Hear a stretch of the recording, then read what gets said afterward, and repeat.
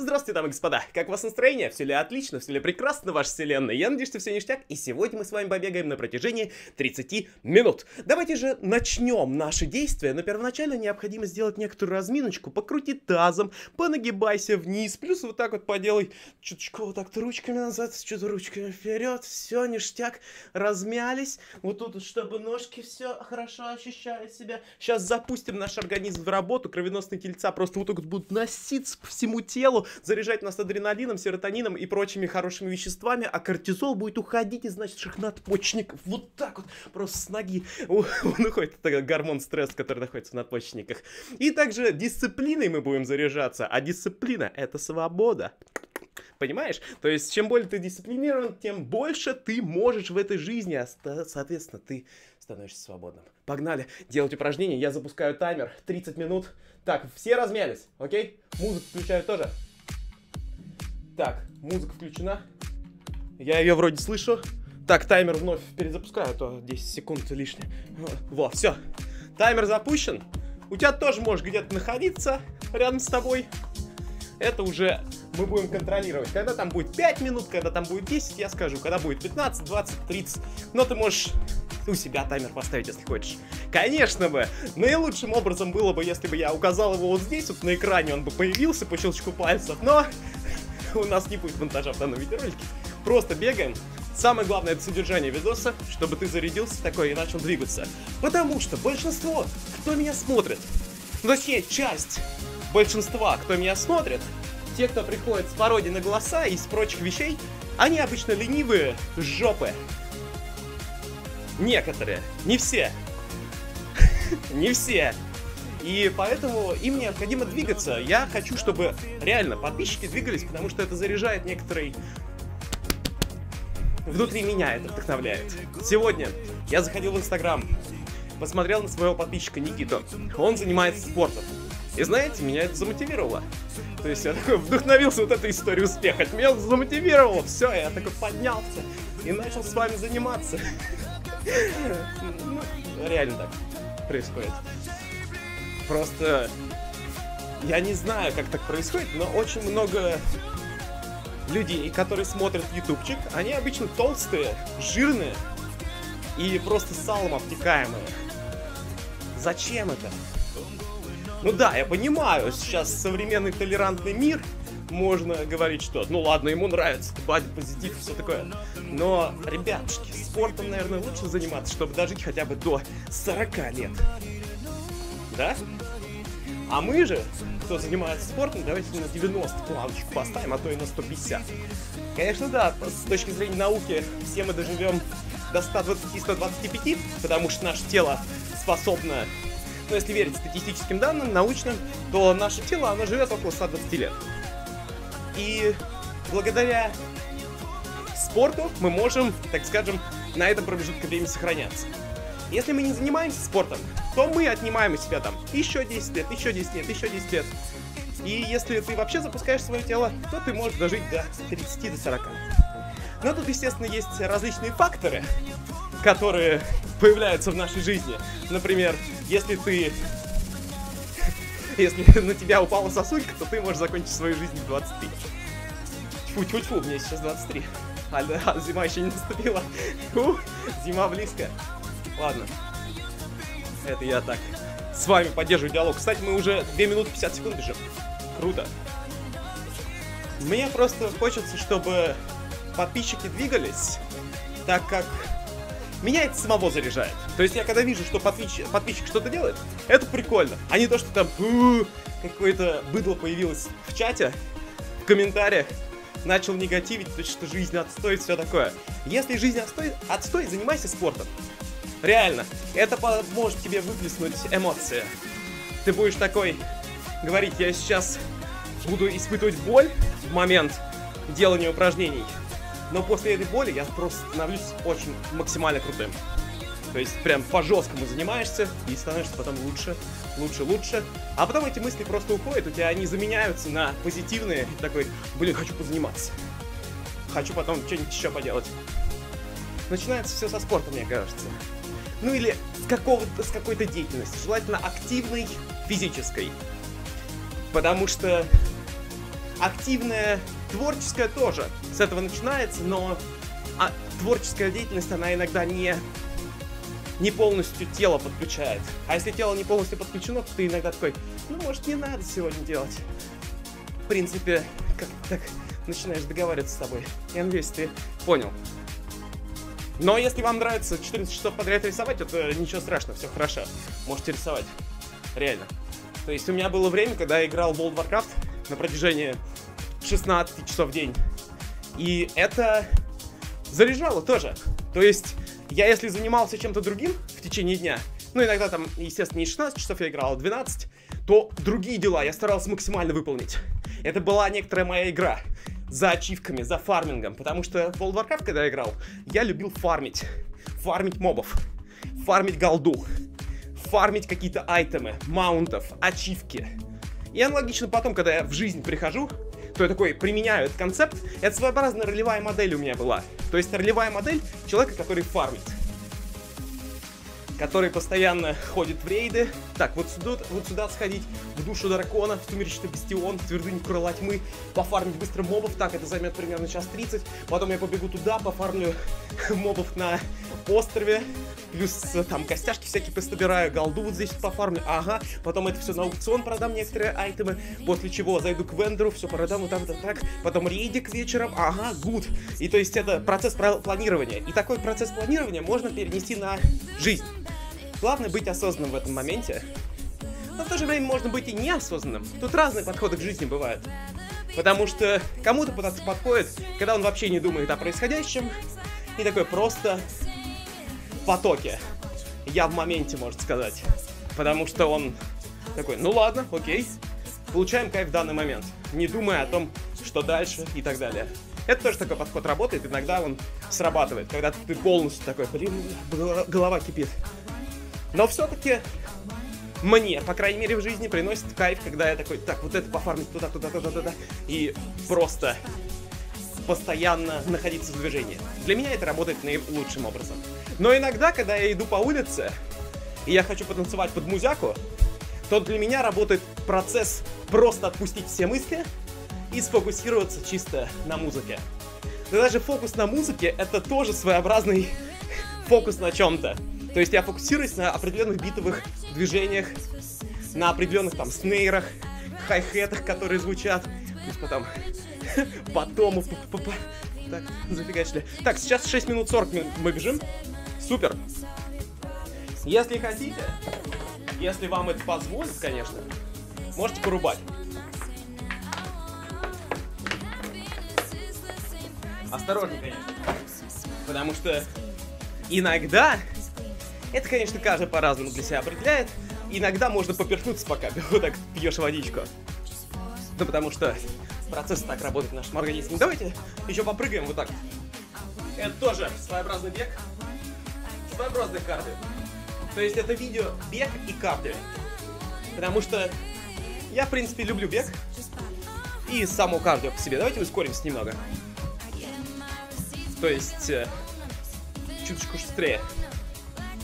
Если кто-то добежит до конца, то есть полностью просмотрит видос, сам пробегает, напишите в комментариях, реально. Мне это будет очень приятно, потому что если кто-то, хотя бы один сделает эти упражнения, моя миссия уже выполнена. Если кто-то напишет с самого начала, вот видос выходит, и, о, первый, крутой видос, молодец. Ну да, это, конечно, приятно, супер. Но обычно есть часть зрителей, которые пишут, о, круто, привет, молодец, первый, а потом уходит на другой видос смотреть, я ем 100 гамбургеров за 20 минут.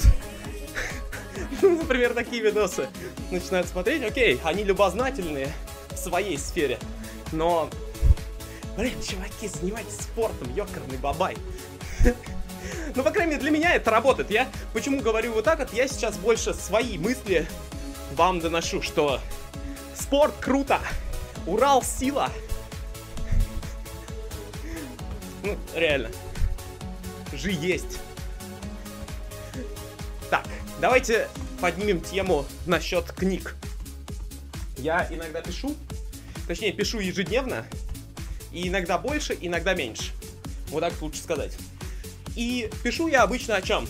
Пишу я о музыкальных инструментах, То есть э, я представляю, что я играю как будто на музыкальных инструментах, описываю процессы игры на музыкальных инструментах. Также я люблю писать о животных, которые тоже играют на музыкальных инструментах, как будто это оркестр. Например, жирафик, который дергает за струнку арфы своим ртом.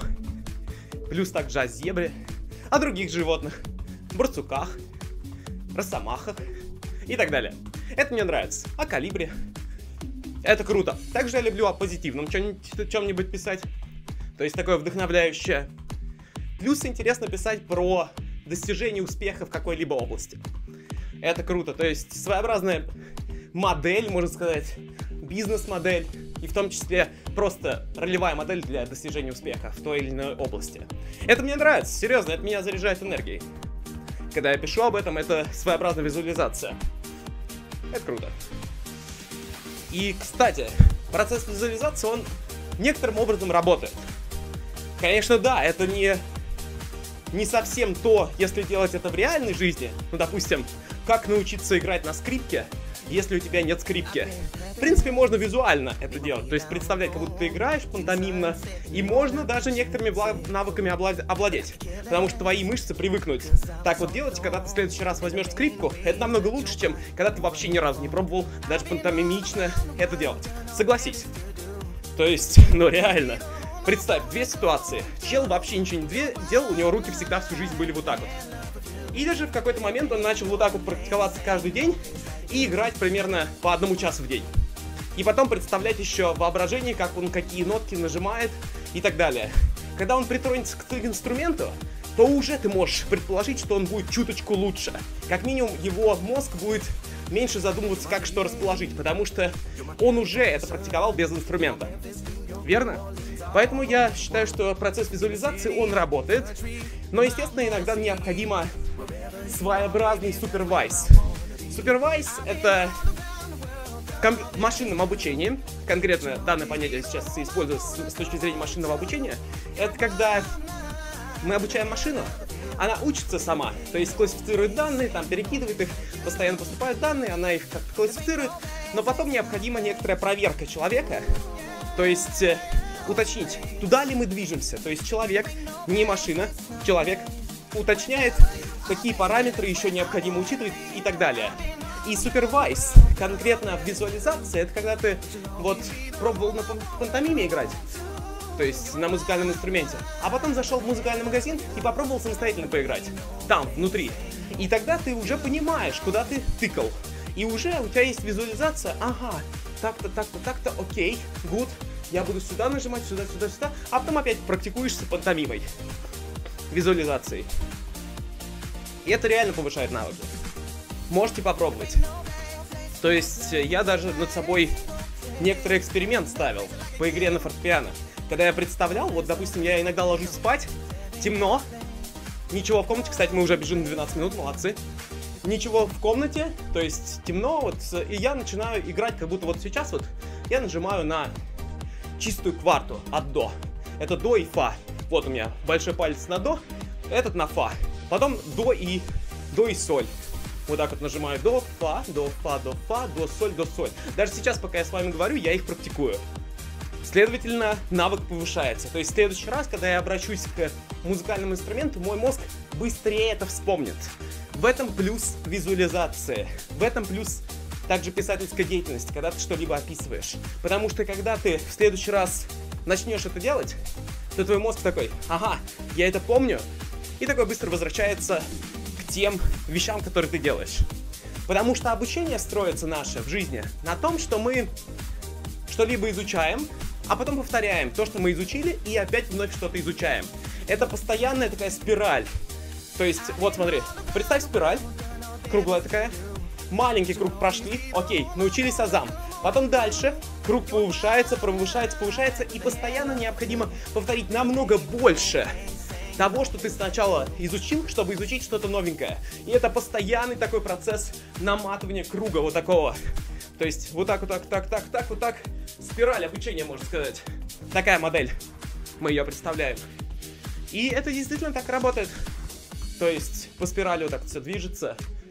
Потому что даже изучая новые слова в новом языке, Допустим, ты изучил слово hello, да, в английском языке, привет. И потом ты такой можешь сочетать это с различными вещами. Hello, Маша, Mary, hello, Ваня, hello, Костя и так далее. И когда ты знаешь уже Маша, Ваня, Костя, то ты уже такой три слова знаешь. А потом ты такой Hello, Маша и Ваня. Hello, Маша и Ваня. Hello, Маша и Костя. Hello, Маша и еще какой-нибудь человек. То есть больше, больше, больше, больше. И необходимо опять повторить, повторить слова. Так изучаются языки. Как я изучаю языки с помощью клавиатуры? Я пишу что-либо, то есть точно так же визуализую.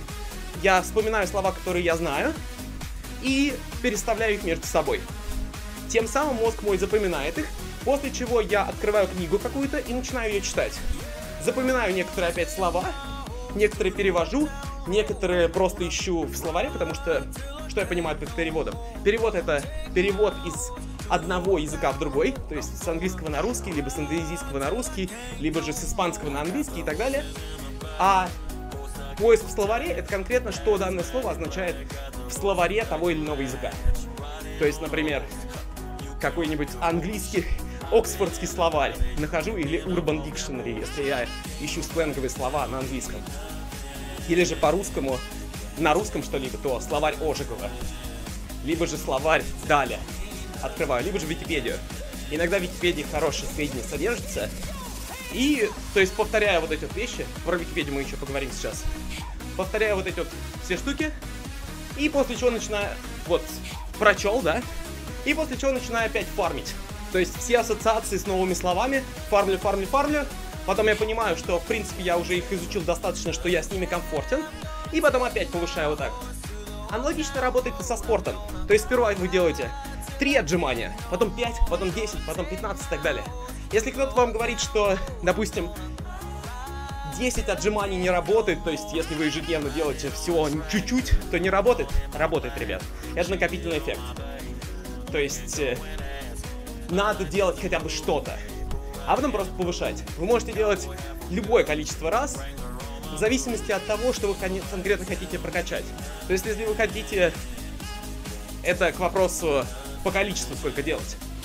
Если вы хотите прокачать выносливость, такую мышечную, то, естественно, хорошо делать прям большое количество раз.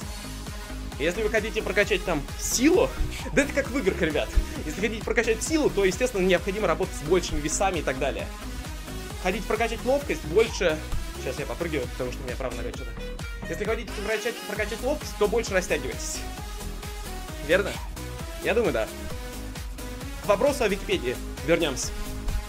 Потом можем про навыки тоже поговорить. Про Википедию. Я считаю его данный сервис, данную энциклопедию, ее, одной из лучших в плане по поиску информации среди точных наук. С точки зрения, если вы ищете какие-то точные факты из физики, из химии, из биологии, из статистики, точная наука, да, то вы найдете достаточно много материала, хорошего, интересного, особенно на английском языке. На русском иногда не до конца еще переведено, но тоже нормас. То есть на русском языке некоторые статьи отстают года на 4 на 5 по актуальности. На английском много актуальных вещей есть. Вот у вас точный материал вы изучили. Из каких статей вы тоже можете, в принципе, что-то научиться? Это биографичные и исторические. Но биографичные и исторические, в отличие от точных наук, они очень субъективные. То есть кто их писал.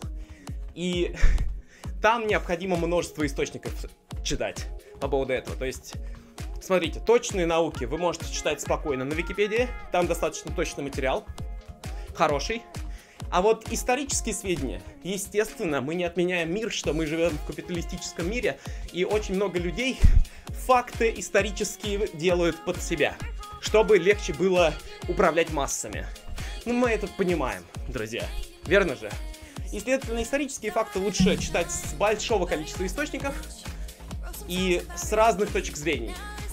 И те факты, которые чаще всего совпадают, то есть вы прочитали 50 источников, и после чего сделали выборку, ага, чаще всего повторяются вот эти вот 20 слов.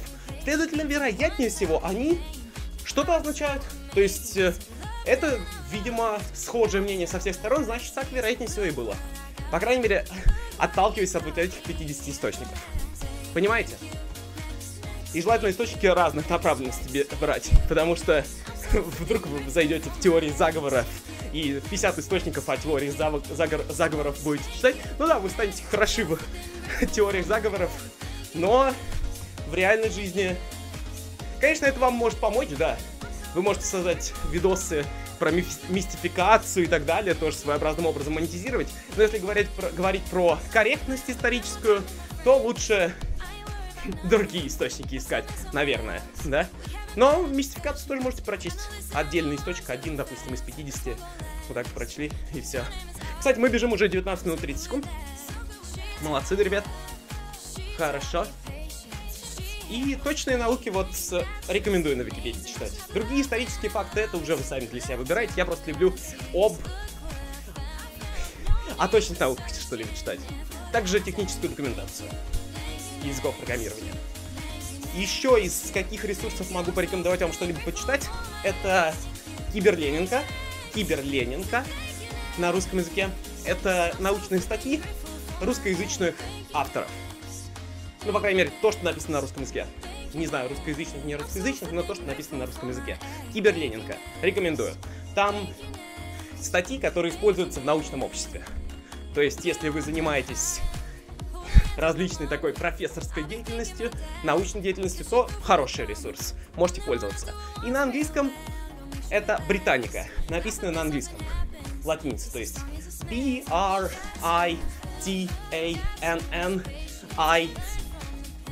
то ли C, то ли K, А, A. Ага. То есть Британика. Вводите. И такой вот ресурс есть. Там научные статьи на английском. Он считается одним из самых надежных по достоверности информации. Научных статей. Все остальные вещи в мире, лично мое мнение, я рекомендую читать с точки зрения просто либо развлечь себя, если вы хотите развлечь себя, то есть такие почувствовать жизнь, да, она действительно такая, либо же, если с точки зрения капиталистических ценностей и всяких таких выгоды для себя, коммерческой, то рекомендую читать с точки зрения маркетинга. То есть вы такие читаете, допустим, Стивена Кинга, и за замечаете, вот в каком стиле он пишет, и, соответственно, если вы вдруг захотите написать в стиле триллеровском, мистики, ужасов, то вы можете использовать такие же конструкции, как использует он.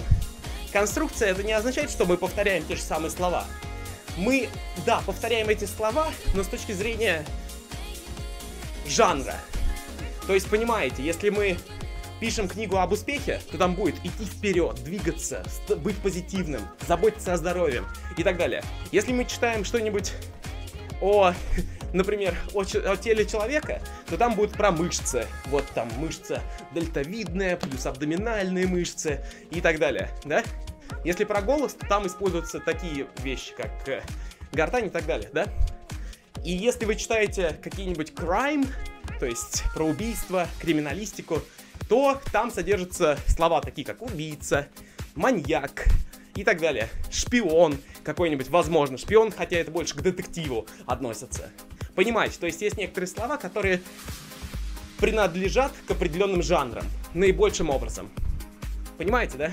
Если это комедия, то шутка, хохма, там будет байка, да, вот такие вещи. Достаточно смешные слова используются. И определенные тоже конструкции используются. И вы смотрите на это, какие слова чаще всего повторяются в том или ином жанре. И с точки зрения маркетинга, если вы хотите написать в том же самом жанре, то применяете их потом при написании. Аналогично и в музыке. Вы замечаете, какие в основном ходы используют в том или ином жанре, какую последовательность аккордов, то есть джаз отличается от поп-музыки, вы понимаете, и какие аккорды там используются и там, и их используете, соответственно, в своем жанре. Это не означает, что вы как бы берете оттуда. Да, вы берете, но вы берете, так скажем, содержание жанра, что там содержится, а потом дальше уже это переставляете всевозможным образом. То есть вы пополняете свой словарный запас того или иного жанра, а дальше просто переставляете, и получается музяк в том или ином ключе, в том или ином стиле. Итак, мы бегаем 23 минуты 42 секунды. Давайте попрыгаем. Можем даже вот так вот. То есть вперед-назад ноги. Супер. Хорошо получается. Ты молодец, дружище. Реально. Мне кажется, данный видос будет полезен для зрителей. Потому что, ну серьезно, мне кажется, когда человек что-то делает сам, это намного более продуктивнее, чем когда ты просто смотришь, как кто-то другой делает, и такой, ну да, я понял, хорошо. А когда ты сам создаешь, это вот что мне хочется, чтобы вы делали. Почему у меня так много видеороликов, как что-либо делать? Это из-за того, что мне хочется, чтобы люди что-либо делали, это раз. Ну и второе, естественно, я так визуализирую свой процесс в том числе, потому что я двигаюсь вперед, соответственно, когда я обучаю других, то я в том числе сам обучаюсь этому лучше, то есть становлюсь в этом, в этой вещи. То есть, естественно, у меня был период времени, когда я это читал, ознакомливался, также образовывался в той или иной области, то есть понимал, как это строится, наблюдал, описывал, делал, проводил исследования, и сейчас я о своих, так скажем, наблюдениях рассказываю. Да. Но с точки зрения маркетинга, скажу вам так, что создавать контент о том, как что-либо сделать, и как вообще продвигаться вперед и так далее, то есть обучающие видеоролики, они не сильно популярны. По какой причине? Потому что людям нравится... То есть вы представьте, ленивый человек, что ему хочется? Он, ему хочется как можно дольше оставаться ленивым. То есть суть его жизни, что я хочу отдыхать, и все, больше ничего. И чем меньше действий я делаю, тем лучше. Это вот большая масса рынка, которая у нас сейчас есть. И когда вы создаете то, как стать лучше, такой контент им не хочется, потому что, ну блин, надо что-то делать, да?